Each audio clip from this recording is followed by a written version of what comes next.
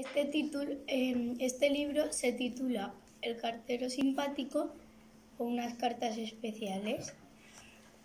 Y mm, el autor es, los autores son Janet y Alan Albert.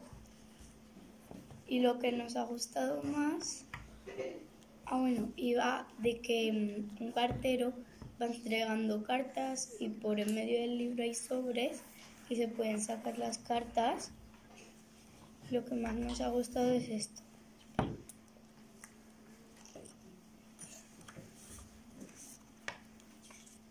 Esta, porque Ricitos de Oro em, se disculpa a los osos por haberse comido la papilla del osito pequeño.